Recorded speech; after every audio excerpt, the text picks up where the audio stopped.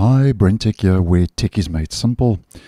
So, just a quick heads up that if you are running an older version of Mozilla Firefox, that Mozilla has issued an urgent update warning to all Firefox users to make sure that your browser is updated to version 128 or ESR 115.13 for those using the extended support release before the 14th of March this year, 2025. And the 14th of March is on Friday. So you've just got a couple of days. So just a quick heads up, um, just to let you know about this uh, in case you are affected. Now, Mozilla has this to say why is this update important? As mentioned on March 14, they say a root certificate used to verify signed content and add ons for various Mozilla projects, including Firefox, will expire. Now, if you don't know what a root certificate is, basically it's a trusted authority that verifies the authenticity of websites, add ons, and software updates. And when it expires, systems relying on that certificate can no longer verify these items, which may cause features like add ons or secure media playback to stop working. So that's just a brief overview as to what a root certificate is all about.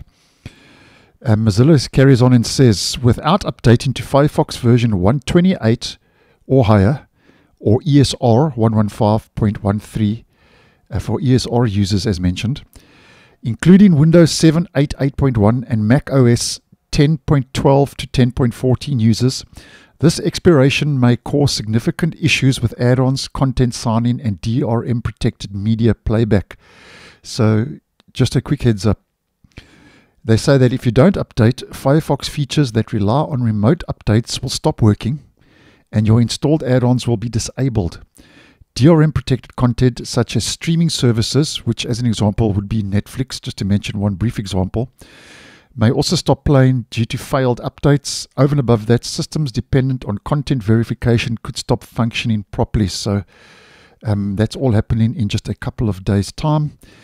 And if you don't know what version of Firefox you are running, but I'm sure if you're running an older version, you would know. But just in case you don't know, and uh, in case you don't know how to update Firefox, how you would do this is you would head to your main menu, click on Help, click on About Firefox, and here you'll see your version and build.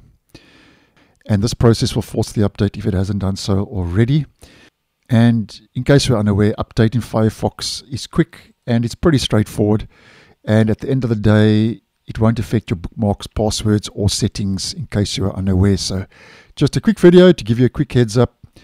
Make sure if you're running an older version of Mozilla Firefox that you make a plan to at least update to version 128 or ESR 115.13 before 14 March 2025. So thanks for watching and I'll see you in the next one.